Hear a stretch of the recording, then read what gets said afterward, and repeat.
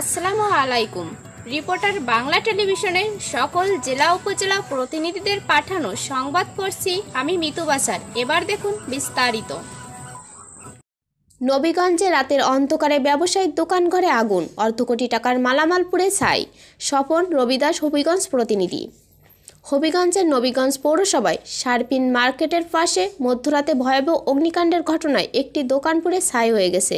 স্থানীয় লোকজন ও fire service কর্মীদের প্রায় চল্লিশ মিনিটের প্রচেষ্টায় আগুন নিয়ন্ত্রণে আনতে পেরেছেন।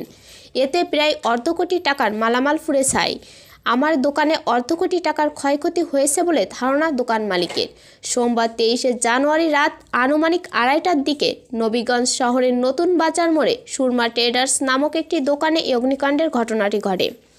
দোকানের সত্ত্বাধিকারী হিমাংশু শেখর রায়ের সাথে কথা বললে তিনি বলেন, এই দুর্ঘটনায় আমার দোকানের প্রায় পঞ্চাশ লাখ টাকার ক্ষয়ক্ষতি হয়েছে।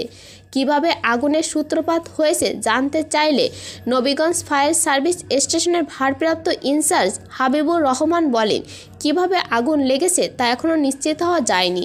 ত্রিপল নাইনে কল পেয়ে তারা দ্রুত ঘটনাস্থলে পৌঁছে স্থানীয়দের সহযোগিতায় আগুন নিয়ন্ত্রণে আনতে সক্ষম হয়েছেন। তবে বৈদ্যুতিক শর্ট সার্কিট থেকে অগ্নিকাণ্ডের ঘটনা ঘটতে পারে বলে ধারণা করেছেন স্থানীয়রা।